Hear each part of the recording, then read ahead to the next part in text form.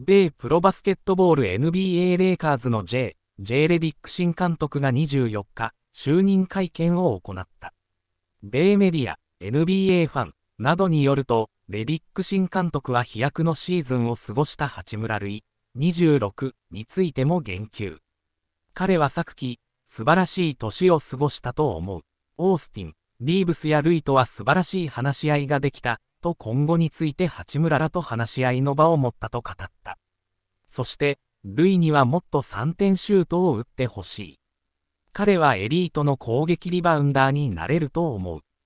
素晴らしいカッター、相手の攻撃を断ち切る選手になれるだろう、などとその能力に大きな期待を寄せた。八村をめぐっては、来季の補強に向けてトレード要員になっていると盛んに現地で報じられており、複数チームが関心を寄せている状況。新指揮官が八村の処遇をどのように判断するのか注目が集まる。